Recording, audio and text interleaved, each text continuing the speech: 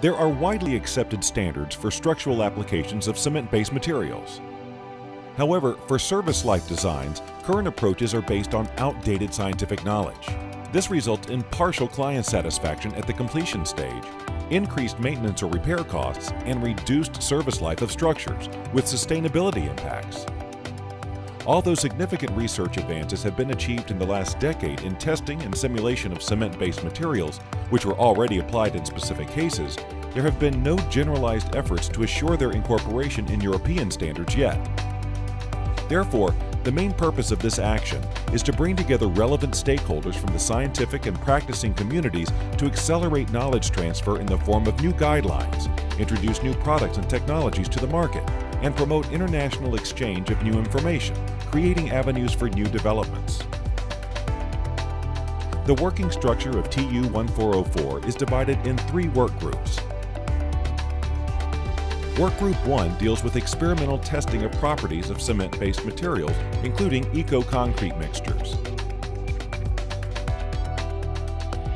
The Extended Round Robin Testing Program, also called RRT+, involves the sharing of raw materials for concrete, mortar, and cement paste.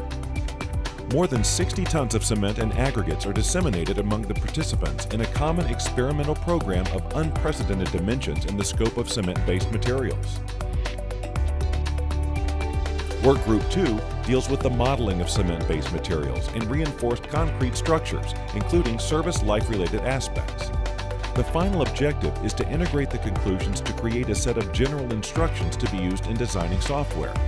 International benchmarking efforts are being made as to exchange knowledge and intercomparison of modeling capabilities at different scales, from cement paste to structural level.